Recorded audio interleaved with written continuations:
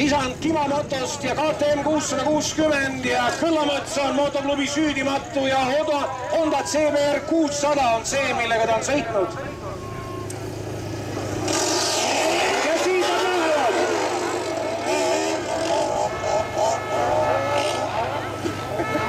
natukene on jäänud Kõllamets tahapoole. isand rebib eespool, seal lendavad ikka tõsiselt suured kruusakivid. Peaasi, et nüüd ei jää Kõllamets sinna kinni. masin igastahes töötab, mootor teeb koledat häält. loodetavasti jõuab sealt edasi, lükkab käe korra. sõnaütles karu, kui suvel suusatas. see on Kõllamets süüdimatult sõidetaksegi niimoodi, nagu siin teie juures paremini näha on. mäe tipust hakkab ajuga tolm.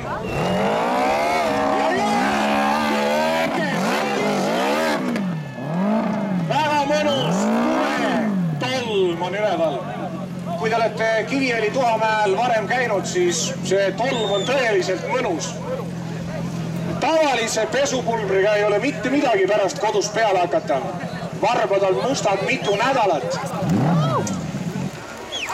aga ikkagi ootame, kus maal on Kõllamets. kas ta vähkreb veel või on juba külili? loodetavasti mitte. loodetavasti mitte. Ootame tagasisidet. sada sada kuuskümmend viis on Kõllamets ja isand jõudis viiskümmend kaks, üheksakümmend üks jõudis Mäkke. väga tubli. ütle mulle meetrid uuesti. Sada kuuskümmend viis. ajaloo jaoks on talletatud muideks kõiki, mis on tehtud mäkketõusu ajaloos, on võimalik leida www.hilglim.estonia.com lehekülje pealt. stardis on Munatom ja Ott. Munatom paremal, Ott vasakul.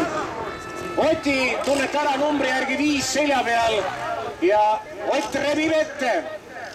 Vahetab rada, sõidab eest läbi, teeb igasuguseid vigureid, et olla eespool. kusjuures see kõik on lubatud. oluline on see, et startida alt õige poole pealt aga mäe peal lükka või naabrimeest jalaga, mingit probleemi pole, mingeid reegleid mäe peal